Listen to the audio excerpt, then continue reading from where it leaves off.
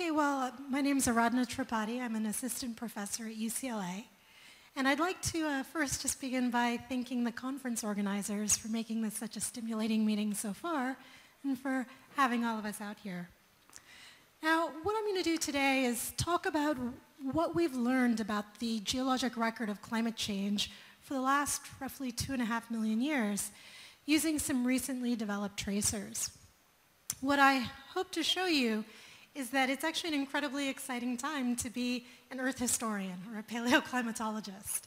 And uh, this is in part because our field is going through an intellectual period of growth that's not unlike that of the gut microbiome or planetary science.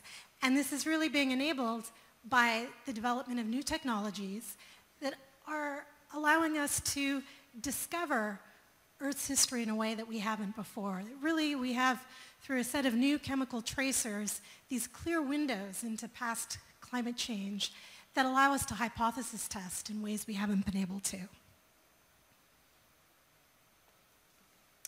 All right, so just to give you a, a roadmap for the talk today, I'm going to begin by giving you an overview of how we do what we do. I'll talk a little bit about the different types of archives that we have to study Pleistocene to Holocene climate change. Pleistocene is the time interval, the epoch that spans from about 2.6 million years ago to 11,000 years ago, and the Holocene spans the last 11,000 years go into the different types of tools that we use, and mainly really just to give you a sense of the assumptions that go into our reconstructions of climate change. I'll talk about some of the main features of the climate record from what we know about glacial interglacial cycles, or these swings between extrema that occurred in the Pleistocene roughly every 41,000 to 100,000 years. I'll talk about the discovery of abrupt climate events really events that occur on timescales that matter to us. So abrupt coolings and abrupt warmings that can take place on the timescale of, say, five years to 20 years. And then I'll talk about some of the work that my group has been doing looking at the climate of the last ice age about 20,000 years ago. But before I do any of that, I actually just want to give you a quick introduction to what we actually do at my group at UCLA, since it's a chance to get to know all of you. And I want to highlight that uh, we're really working on developing a new set of geochemical tracers for past temperature that are based on looking at the occurrence of, of heavy isotopes in molecules. So this is a pretty exciting new frontier in what's termed stable isotope geochemistry. And so we're using computational methods to really explore what controls this heavy isotope pairing in molecules and then also doing a lot of methods calibration, so just to see how our theoretical knowledge can be translated into the different types of archives that we might use as geoscientists. And then we also are very interested in, in developing environmental reconstructions of past temperature on land, as well as oceanographic reconstructions, and using these reconstructions to really probe the dynamics of hothouse periods or greenhouse periods in Earth's history, as well as icehouse periods like the Pleistocene. And so this is just part of what we do, but uh, it certainly is the largest part of what we do involves looking at climate change. Okay, so the archives that we use as geoscientists for reconstructing Earth's climate really are quite varied. Now what I show here is the geologic time scale going back nearly the whole four and a half billion years of Earth's history. And you can see here where the Pleistocene and Holocene are. Now, a really remarkable thing about the Pleistocene and Holocene is that we can actually reconstruct climates in, using a range of different types of archives. We can look at polar climate change using ice cores. The oldest ice we have on the planet is not much more than a million years old, so this is really about as far back as we'll be able to go. We can also look at ice cores in the tropics, from say tropical glaciers in the Andes or in Papua New Guinea. We can also look at uh, glaciers that occur in mountain ranges such as the Himalaya to look at regional expressions of climate change. We also can get records that go slightly further back in time that are recovered from different ocean basins. And these ocean basins represent large bathtubs that accumulate windblown dust. They accumulate the remains of different types of microorganisms and macroorganisms that live in the water column. And they pretty much continuously archive these remnants. So they're really beautiful archives because they represent near continuous records of past climate change. Unfortunately, because of plate tectonics, actually, which destroys ocean crust that's older than about 200 million years old, we can't go back much further than the last 200 million years. So further back in, further back in time, we're really uh, reliant on looking at sediments that are found on land that give us kind of discontinuous pictures into climate variability. Now that being said, for the Pleistocene and Holocene, we can look at all three of these types of archives, and specifically the compounds that they contain. In the case of ice cores, we can look at gas bubbles, we can look at mineral dust, and we can actually look at the water that comprises the ice itself. And all of these can tell us something about the environment that they formed in. On land, we can actually look at um, pretty exciting archives which represent, in some sense, frozen groundwater. So we can look at cave deposits and soils when it comes to looking at, at the Pleistocene and Holocene. And the exciting thing about some of these, particularly cave deposits, is that we have the ability to look at seasonal scale climate variability. Seasonal scale climate variability, say 20,000 years ago or a million years ago, is pretty remarkable. And that's really one of the frontiers in Pleistocene paleoclimate. Now another frontier actually involves work that people here like Beth Shapiro are doing where they're really looking at molecular fossils that are present in sediments, uh, as well as kind of the more traditional paleobiology that's done looking at traditional fossils that also allow us to reconstruct environmental conditions. I want to highlight that actually to do this type of work, it's typically actually quite a large team effort. The environments that we have to work in are ones that actually can be quite challenging. For example, if we go to the polar regions to recover ice cores, and so these really are international efforts. We also have been recovering sediments from ocean basins for roughly the last 60 or so years, and this has also been due to international efforts through programs like the Ocean Drilling Program, which have been punching holes in the seabed for about this length of time, and uh, recovering sediments such as these. Similar types of programs that um, occur in present-day lake basins, and then we can sample ancient lake basins such as what's shown here, which these are the remnants of the predecessor to the Great Salt Lake in Utah. And you can see these ancient shorelines, which can be actually followed quite continuously. You can see one of my graduate students out in the field sampling materials from one of these ancient shorelines.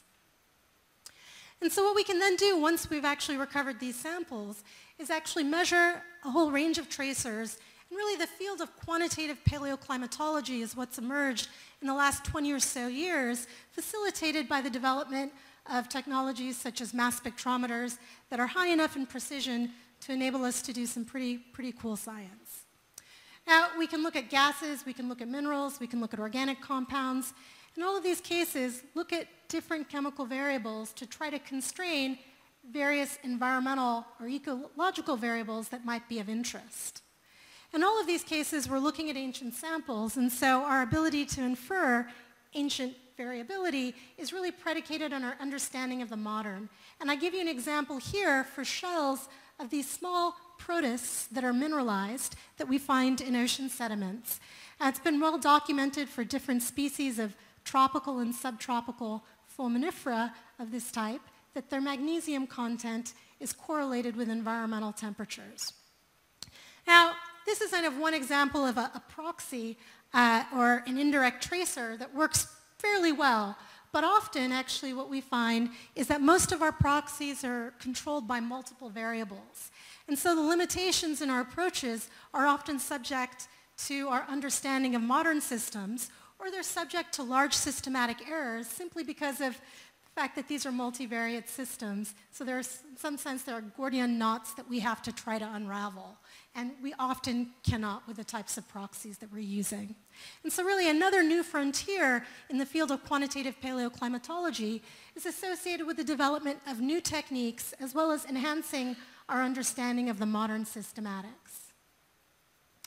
Now, what we then do in terms of developing our climate records is we take the measurement of some proxy and we have some unit of time that's associated with it. So, and if this in of itself is actually a whole field uh, of, of, of quantitative geochronology that's principally dependent on the measurement of, of radioisotopes.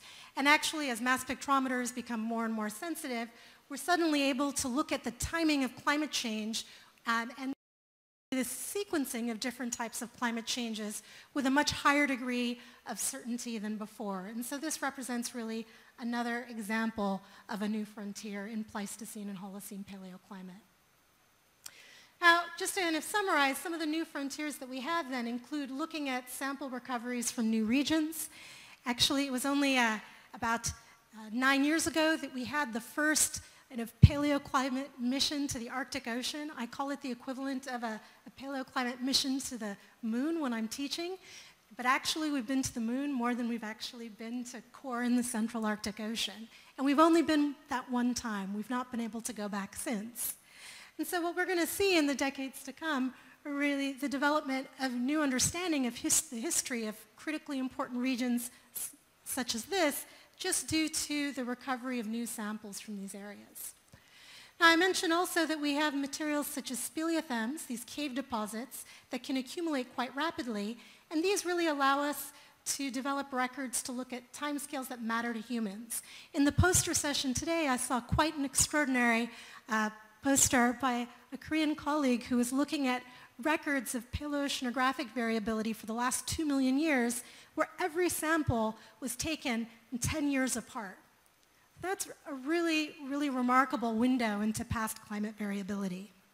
We also have the development of microanalytical tools that allow us to, say from something like a cave deposit, sputter off the surface molecule by molecule, and this really also allows us to push the limits in terms of the temporal resolution of our records.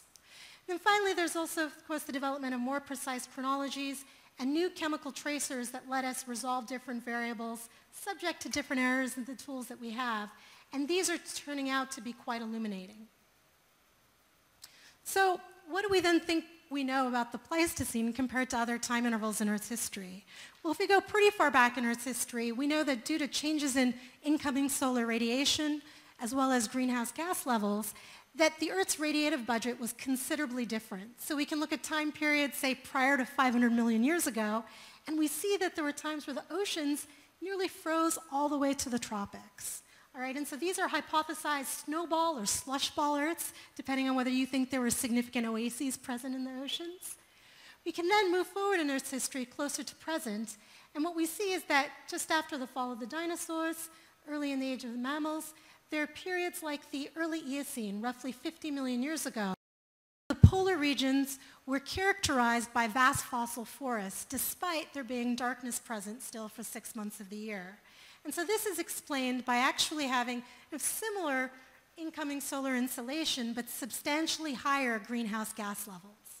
And then we can look at kind of icehouse climates, such as what characterize the Pleistocene, and we see that these are time periods where insolation or solar radiation is similar, Greenhouse gas levels were fairly similar to present. The configuration of the continents was very similar to present, as were ocean currents.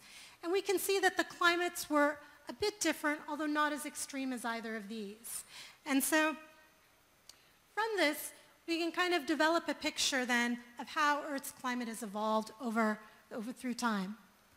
Now I want to next kind of show you what we know about the nature of climate variability in the Pleistocene and I'm just going to focus first on the last 800,000 years.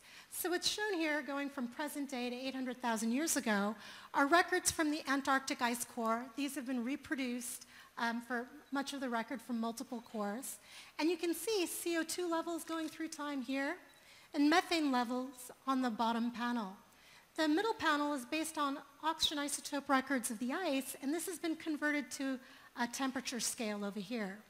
And there's something quite remarkable that you see from this, right? There's this systematic sawtooth pattern that's observed in all of the records. So this is really one of the iconic sets of records that the field of paleoclimate has generated in the last 20 years. And what they show is a richness of variability in the climate system.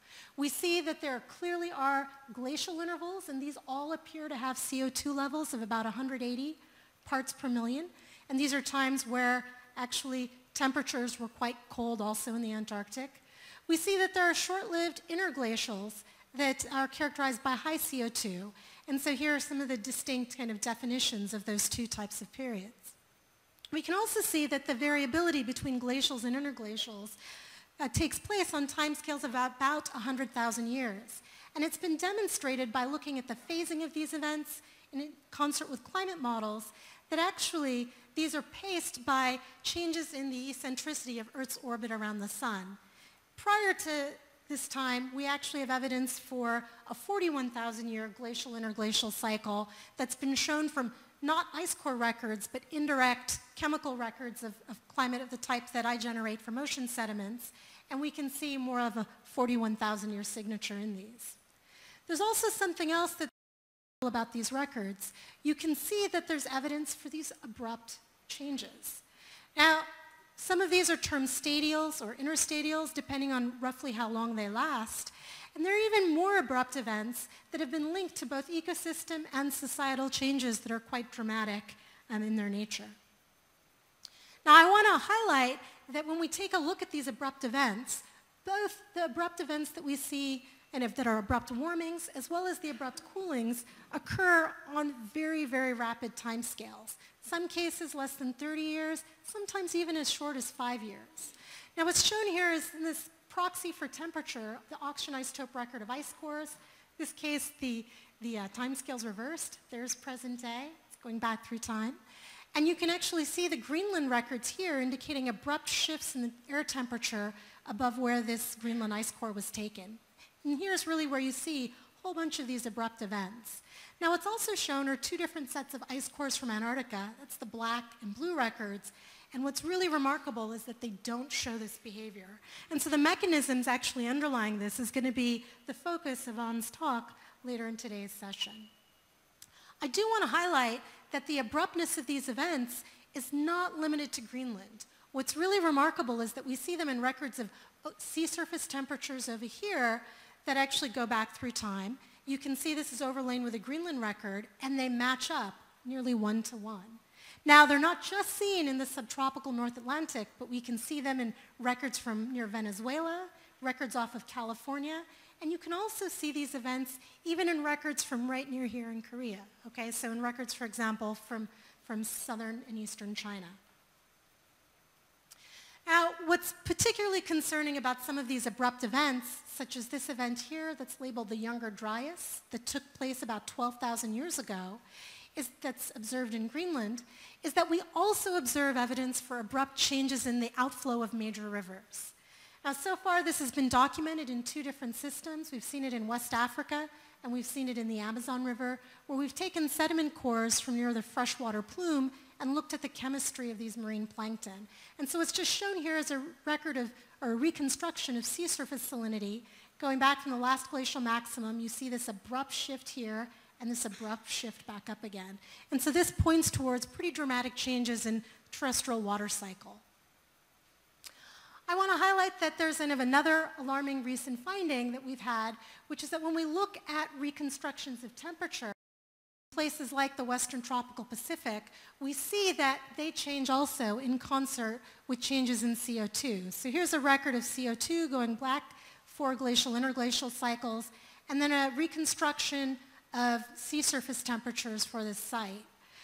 Now what's particularly interesting is some work that we've done where we've just looked at what the kind of uh, maxima and minima of temperatures are if we look at the last ice age versus the present day. And what's interesting is that that change in temperature that we're reconstructing using some thermodynamically based tracers is significantly greater than what most uh, previous workers had suggested using non-thermodynamically based tracers. It's also significantly larger than what most climate models have shown.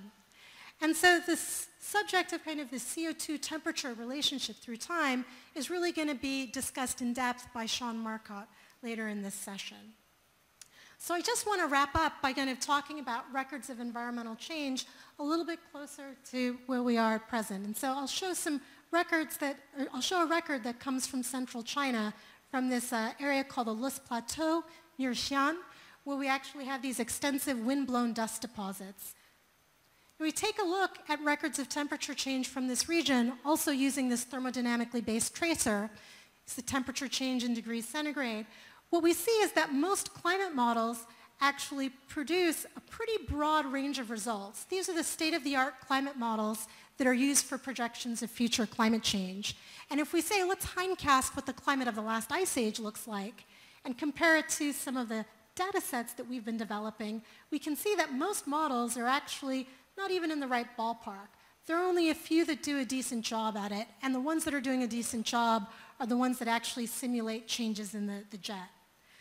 So, and if with this, I want to leave you with a provocative thought, which is that right now what we do when we forecast climate change in the years to come, we actually take the approach of using a multi-model average. We say, let's assume that we are working in a, in a, a system where we can uh, you know, uh, use a, a, model democracy.